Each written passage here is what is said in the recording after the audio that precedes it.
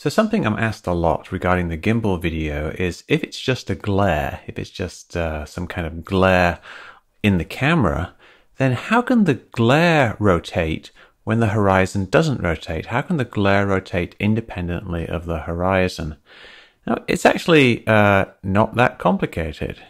Now, the way the camera is mounted, it has to rotate uh, when it goes over zero degrees, when it's going over the forward facing direction, just because of the way it's mounted, because of the gimbal system. This is an unwanted rotation.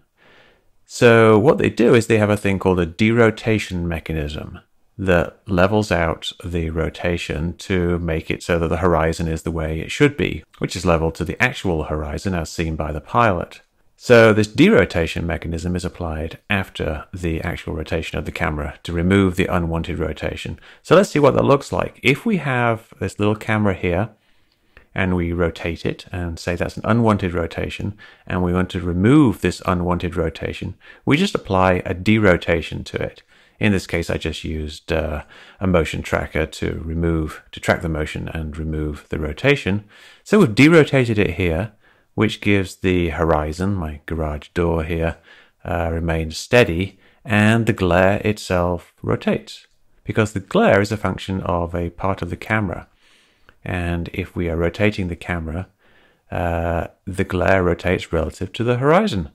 And so if we then apply this derotation to get the horizon steady, the horizon doesn't rotate and the glare does rotate. So that explains what's going on in the gimbal UFO video. The glare is rotating because the camera is rotating.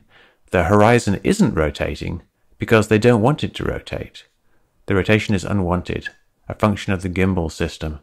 The derotation rotates the glare, and that's what we're seeing here. You can try this yourself.